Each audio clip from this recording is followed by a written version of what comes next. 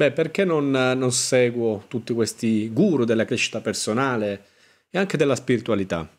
Ne ho conosciuti tanti nella mia vita di guru e qualcuno di loro in particolare mi ha dato qualcosa, ma a lungo andare non mi ha dato nulla.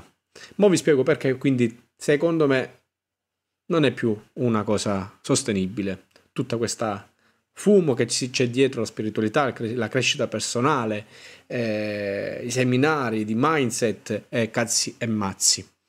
Quello che facciamo durante la nostra vita, no? È un'attività molto naturale, molto spinta al naturale.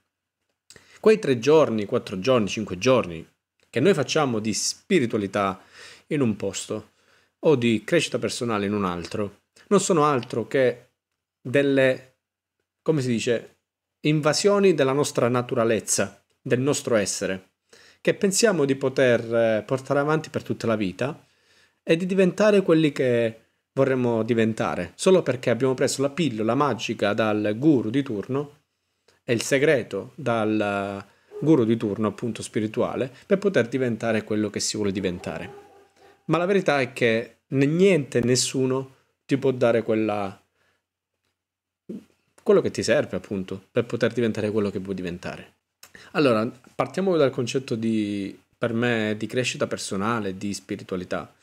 Allora, intanto la crescita personale, mio, dal mio punto di vista, con la parola già crescita non andiamo d'accordo, perché quando parliamo di crescita già stiamo mettendo a noi stessi l'idea che noi non siamo in una situazione in cui possiamo già essere maturi, come se dobbiamo crescere ancora, come se ci manca qualche pezzo, come se dobbiamo continuamente aspirare a qualcosa di più di noi stessi.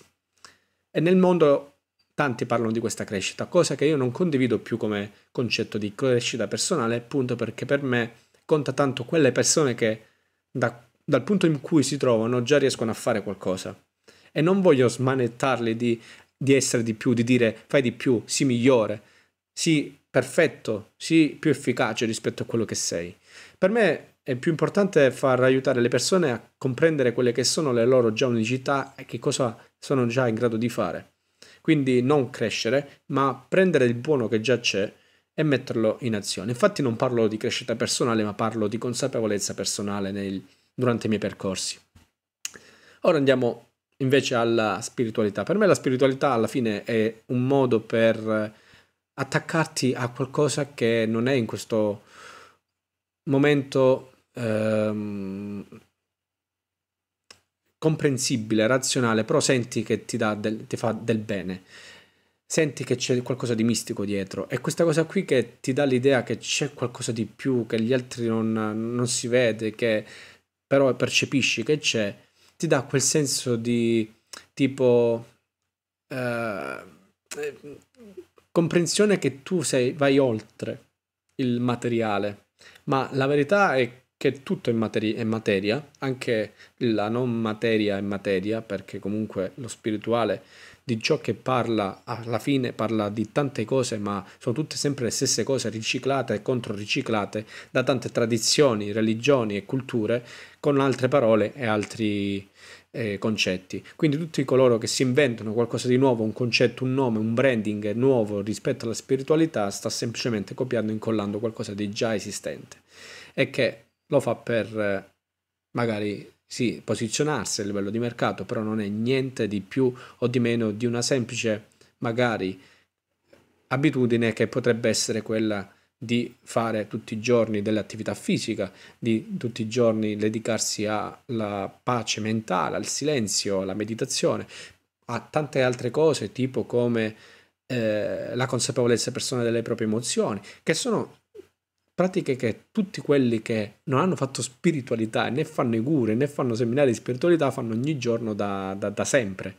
Solo che lo fanno in diversi modi e non, nemmeno, non hanno dato un nome a tutto ciò. Solo che la spiritualità, per darti quel senso di appartenenza anche a qualcuno che è più in alto, è più buono rispetto agli altri, magari è contro la Chiesa e quindi va con l'antichiesa, eh, si, ci si appoggia a qualcuno che ha una credenza comune alla nostra, ma non è alla fine quella credenza comune alla nostra di quel personaggio che noi stiamo eh, condividendo, ma stiamo condividendo anche le sue idee, le sue pratiche, i suoi concetti del perché è buono fare qualcosa. E poi ti porta dove ti vuole portare, a venderti le loro pratiche perché quello ti aiuta a fare di più, a diventare migliore, e questo, aprire il cuore, il terzo chakra, il quarto chakra, e cazzi e mazzi.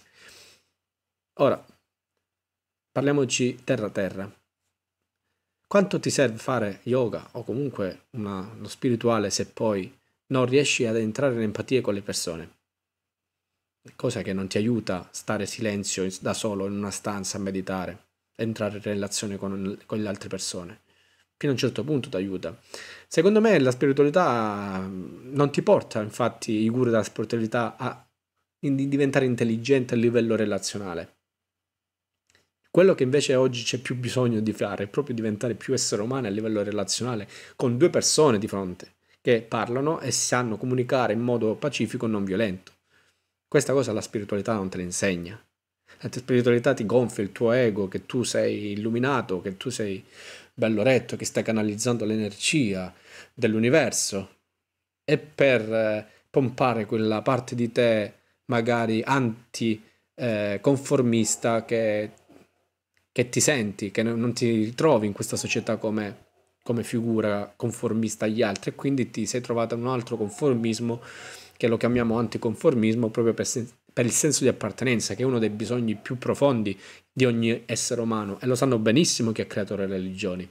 Le religioni l'hanno create, le comunità, le culture l'hanno create proprio perché sanno che nel profondo ogni essere umano ha bisogno di appartenere a qualcosa.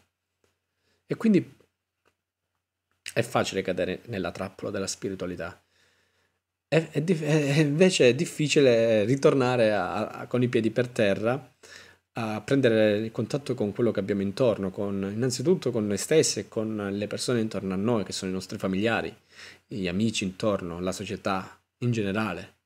Invece no, ce ne andiamo in quella montagna, giriamo il mondo, eh, però non ci parliamo con nessuno e non vogliamo avere a che fare con nessuno nost- nel nostro territorio. Già questo dice tanto. Oppure nel nostro territorio pensiamo che tutto va bene fuori dal nostro territorio non c'è una minchia su cui fidarsi. Anche quella ci sono gli estremismi della spiritualità locale, quelli che si sono creati alla fine poi, come si chiamano, le comunità, gli ecovillaggi, le comunità tutte all'interno, che fanno tutti quanti le, le loro cose, quelle che stanno fuori sono i cattivi.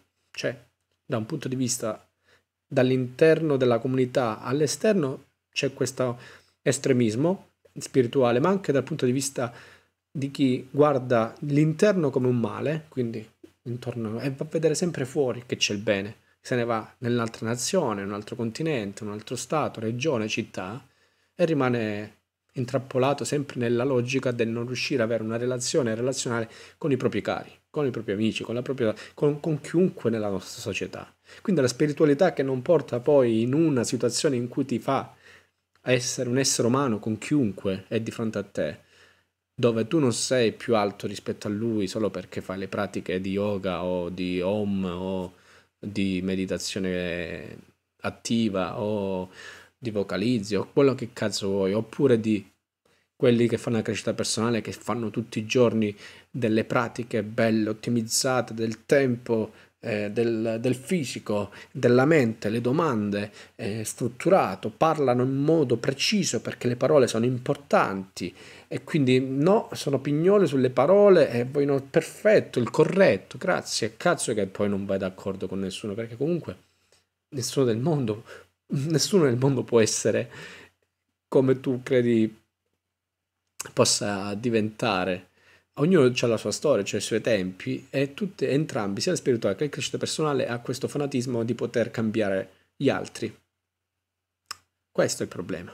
E per questo mi tengo lontano, che ti danno una visione che tu sei il salvatore degli altri, che tu puoi aiutare gli altri a cambiare, che tu puoi essere il loro mm, guru appunto e che tu sei venuto con una missione, quella di aiutare gli altri e che lo devi fare perché gli altri non hanno capito, tu hai capito una cosa che gli altri non hanno capito e lo devono capire come te.